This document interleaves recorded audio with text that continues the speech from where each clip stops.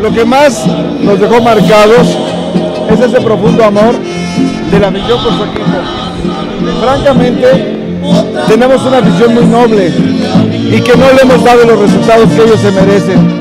Y creo que esa es la responsabilidad de esta directiva, volver a darle ese equipo competitivo que están esperando con ansias. Es un gran profesional, estamos contentos, no satisfechos.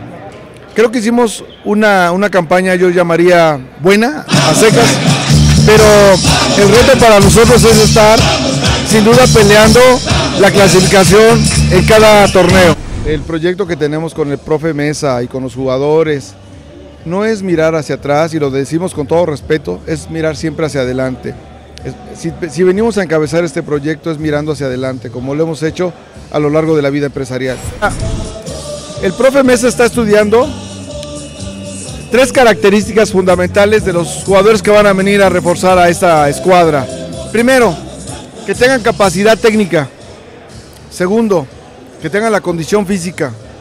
Pero tercero, que tengan la capacidad mental para que en los momentos de adversidad saquemos la casta, porque podemos ganar, podemos empatar o podemos aprender, pero la mentalidad es lo que te hace salir adelante en los momentos difíciles y es lo que estamos buscando.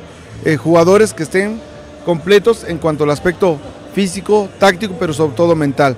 Y además algo importante, vamos a integrar a jóvenes de nuestras fuerzas básicas, los vamos a subir al 11 titular.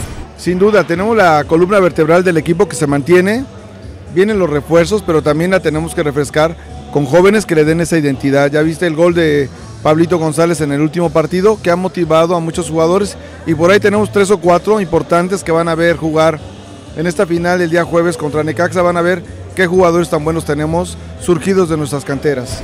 Totalmente, sin duda han sido jugadores tentados, pero nosotros tenemos un proyecto de corto, de mediano y de largo plazo y sin duda tenemos que conservar esos activos importantes del equipo.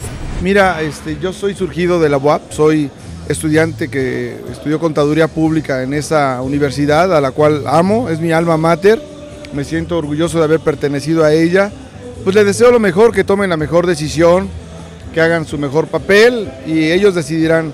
Nuestro, nuestro objetivo es enfocarnos al Club Puebla.